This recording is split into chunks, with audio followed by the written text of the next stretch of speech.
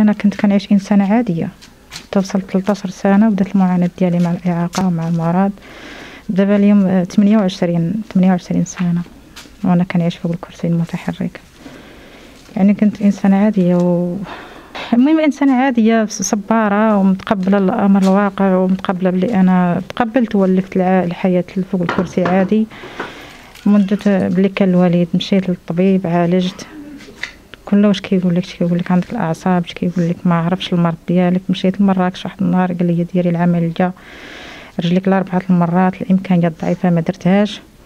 وصلت 2012 توفى الوالد. توفى الوالد من تما وقفت كل شيء ما بقيت تبعت لا علاج لا حتى شي حاجة.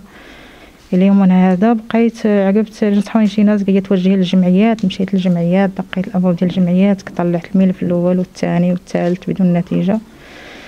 واليوم أنا كان أماني في الله سبحانه وتعالى أناشد أنادي الجلاله الملك محمد السادات والدولة وكاع الناس اللي المسؤولين ويعدوا النظار في هذه الفئة الأشخاص المعاقين. تمام من حقهم يعيشوا من حقهم يكون عندهم رصيد مالي باش يعيشوا ولو غير الأقل ولو غير 500 درهم شهريا أو 800 درهم المهم على الأقل يعيشوا مرتاحين باش يتعالج أنا رغم الإعاقة ولا عندي بزاف الأمراض ولا عندي الأعصاب ولا عندي الاكتئاب ولا عندي فقر الدم الحاد الحساسية ولا عوين إلا الله سبحانه وتعالى. عندي الوالدة مرأة كبيرة في السن عندها 80 سنة. هي كتعاني من الطنسيون الهصاب العينين بزاف الحوايج. أه، كان الوالد الله يرحمه وسع الله يرحمه وسع لي في هذا النهار. كان يشد ألف درهم شهريا وبعد توفى بقات الوالدة أه، خمسمية درهم. ديك خمسمية درهم هي باش نعيش وياه في الوقت الحالي. هي فيها الدواء فيها الأكل فيها الشرب فيها الطبيب فيها يعني ما كافيانيش خرجت المنحة ديال الارملات مشيت تسجلت قيدت أنا بحالي بحال الناس. بلي خرجت مدة عام وأنا كنستافد منها 7000 شهريا. يعني قلت الحمد لله ولو غير واخا قليلة الحمد لله الحمد لله واخا غير شوية. تعاوني بها على الوقت.